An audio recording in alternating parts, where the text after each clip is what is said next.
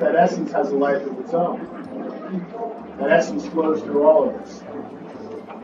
So prayer is engaging that essence on prayer knows on a one-on-one basis. Prayer is engaging that essence personally on a one-on-one basis. Faith is, is, is God, self, and other. That's the full relationship.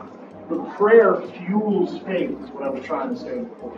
Because prayer is the one-on-one engagement. Myself engaging the divine essence.